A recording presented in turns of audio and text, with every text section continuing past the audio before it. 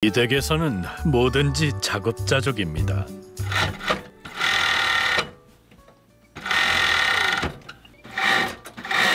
어지간한 걸칠거리가 손끝에서 나오니 옷이 아니라 정성을 입는 셈이지요. 애들 이거 입으면 진짜 시원하겠어요. 시원하니까 이렇게 입으라고 왜? 바쁜데도 만들고 있어. 이렇게 할머니밖에 없어요. 최고야. 역시. 할머니밖에 없. 저도 이렇게 시원하게 입고 있는데요. 우리 어머니 덕분에. 이거 아니면 못 입어요 이제. 진짜 너무 더워서 다른 건 못 입어요. 이 어, 지금 입은 원피스도 어머님이 만들어 주신 거예요. 더 딱. 이런 제가 이런 스타일 옷을 입고 싶다고 하시니까 이거 만들어 주셨어요. 진짜 너무 고마워요 어머니. 그런가? 네. 작년에 작- 작년에 만들어 주신 옷이에요, 이 옷이. 아, 올해도 계속 쭉 입고 있어요. 음. 입을 때마다 어머니 생각나서 눈물 나네. 너는 또 거짓말도 잘해. 근데 어머니, 응. 이것 좀 봐봐요. 예. 그걸 꿈에서 그냥 그거 버려야지. 다이도 그것은 못하지. 손가락이 춥다고. 아 추워요 추워요 하고 있어 지금. 어쩔까? 세상에. 시어머니가 북을 치면 며느린 장구를 치네요. 우리는 그 어떤 그 생활비가 많이 안 들어요. 다 채취해서 쓰고 또 이렇게 만들어 쓰고 부식값이 안 들어 별로. 쌀값하고 이제 뭐 고기값 정도. 하지만 이런 생활이 처음부터 수월했던 건 아니었습니다. 많이 불편했죠. 살아온 방식 틀리고 문화가 틀리니까 제가 적응하려고 많이 노력했죠. 어, 한 3년 걸렸어요, 근데. 이렇게 우리 어머니하고 사이가 좋기까지가. 안 되는 게 없으셔, 우리 어머니는. 안 된단 말을 제일 싫어하세요. 된다, 해야 된다, 하면 된다. 가장 어려운 것은 약초였습니다. 시어머니 손길 거쳐간 약초가 36가지나 되니 처음엔 이것이 저것 같고 도무지 모를 세계였지요. 하지만 지금은 약초 식당의 안주인 노릇도 거뜬히 할 정도로 베테랑이 됐답니다.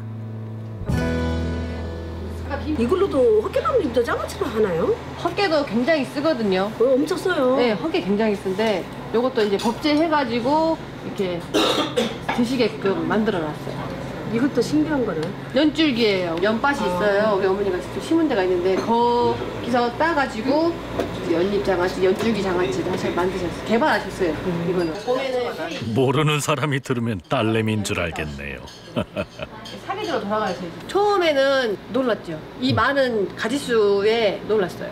이렇게 많은 걸 내놓으실 수 있구나. 이게 이 나무를 갖고 이게 이거 갖고 해서 구분을 못했어요. 처음 보는 약초가 너무 많았어요. 뭐 이런 것도 먹구나 먹구나. 정말 대단하신 분이죠 우리 어머님이. 전 여기서 이제 손님한테 말로만 하잖아요. 근데 그 사람들이 그럼 내가 해온 줄 알아. 그건 아닌데 저희 어머님이 다 약초 채취해가지고 이렇게 하는 거를 저는 이제 우리 어머님 당당하게 예, 소개해드리고 이렇게 많이 드시라고 하고 있죠. 땅에 떨어져가지고 둘째 준이를 데리러 가는 길입니다. 쌀지가 쌀봐. 건희는 일곱 살, 별을 심어. 쌌다. 준희는 네 살. 한창 손이 가는 나이에 녀석들 기운 차기가 꼭 망아지 같습니다. 엄마도 같이 가 돌담길 따라 마음껏 달려봅니다. 시작. 성당 성대 문을 열어라. 남남 대문을 열어라. 열두 시가 되면은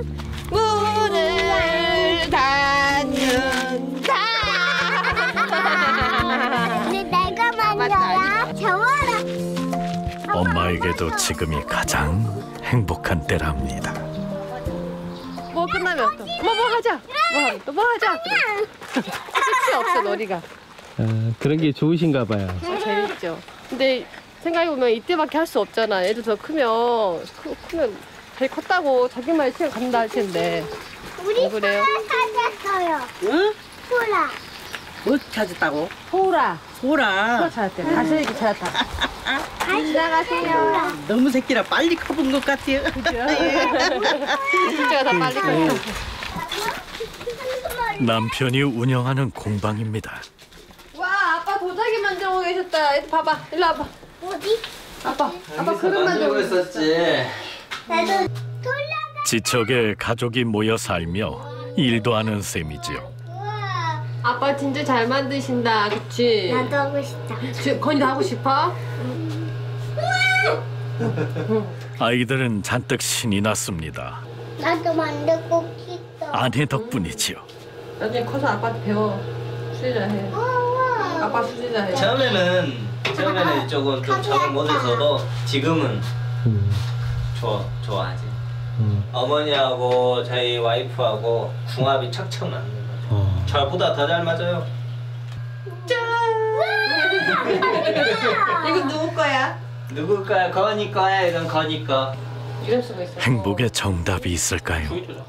막. 찾아가기 마련이랍니다. 처음에는 조금 내가 왜 이렇게 여기 시골에서 살아야 하나 그런 생각을 많이 해가지고 만져요. 그렇게 행복하지 않았거든요. 근데 이 지금은 이게 너무 행복한 거예요. 응. 마. 이런 시골에서 제발. 신랑도 매일 보고 같이 일할 수 있고 우리 애기들도 매일 보고 해질녘 노을이 물 위에 떠 있고 하늘에도 떠 있네요. 저 홀로 저물어 가는 것이 아쉬운가 봅니다.